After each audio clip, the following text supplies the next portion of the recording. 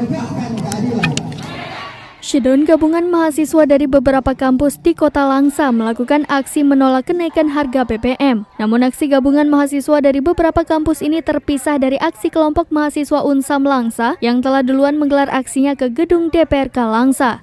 Gabungan mahasiswa ini terdiri dari kampus YIN Langsa, Stikes Bustanul Ulum, Sains CND Langsa, dan Poltekkes Depkes. Setelah melakukan aksinya di halaman Sekretariat Pemko Langsa, sekitar pukul 13 lewat 30 waktu Indonesia Barat, mahasiswa dan PJ Wali Kota dan DPRK sepakat untuk masuk ke Aula Pemko Langsa.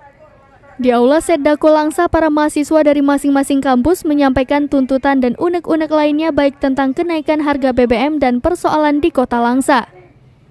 Hadir di tengah mahasiswa PJ Wali Kota Insinyur Said Mahdu Majid dan Wakil Ketua 1 DPRK Langsa Saifullah.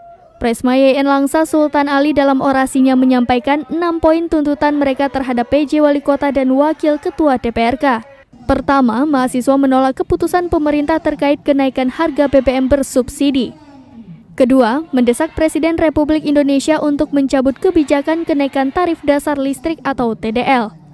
Ketiga, mendesak DPR RI untuk menyelesaikan pasal-pasal kontroversial RKUHP.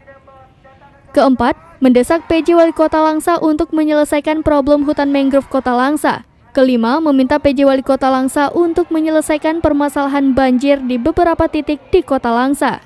Keenam, mahasiswa meminta kepada DPRK Langsa untuk merespon petisi mereka, kemudian dirilis dan membuat video penolakan kenaikan BBM dan mengirim petisi mahasiswa pada hari ini juga.